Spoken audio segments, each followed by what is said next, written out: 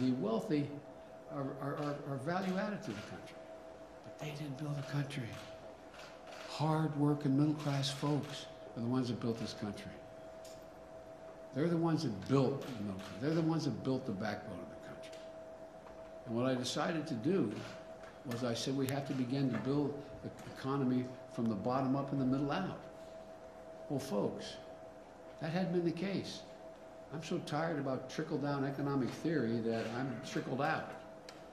The idea that, and I I asked the rhetorical question, when the middle class has done well, when do the wealthy have never, have, when any time the wealthy not done extremely well as well?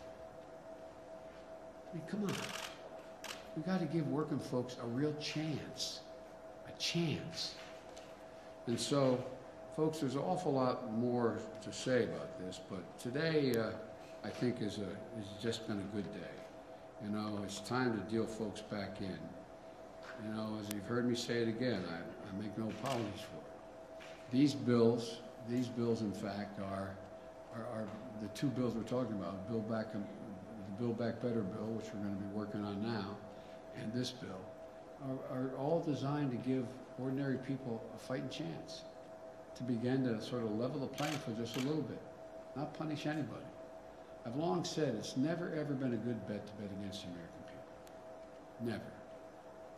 And that what it really means is bet on the American people. Give them a shot. Give them a shot. That's what these plans do. They bet on average Americans. They believe in America. They believe in the limitless capacity of the American people.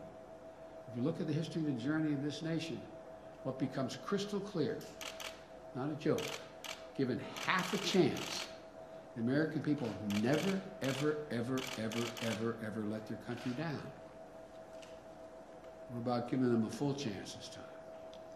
And, and when we do, there's going to be no stopping us. I truly believe that 50 years from now, folks are going to look back and say, this was the moment, this was the period, this, this year and the next couple of years, when America decided to win the competition of the 21st century, to get in the game full bore. So my message to all the American folks is, let's get to work. Let's get